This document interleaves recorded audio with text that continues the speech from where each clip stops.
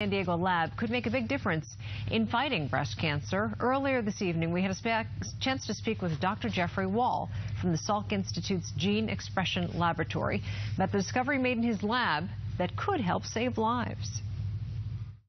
In breast cancer, uh, we can remember uh, that there are multiple types, and we have drugs against some of them. For example, if a woman is diagnosed, 65% or so of women will have cancers that have the estrogen receptor and progesterone receptor in them. We have drugs to antagonize the activity of those receptors.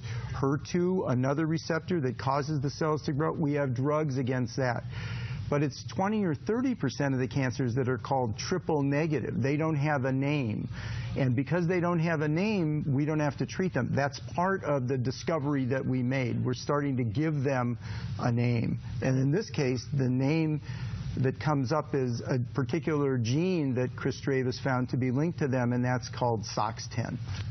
Dr. Wahl also spoke about how his lab's discovery gives clues to why cancer cells move from their place of origin, one of the reasons why people lose their battle with cancer.